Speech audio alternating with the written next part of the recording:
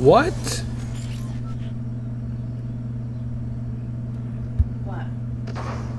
How how how did that just happen? What happened? I used a rift to go and somehow he killed me when I got went through it.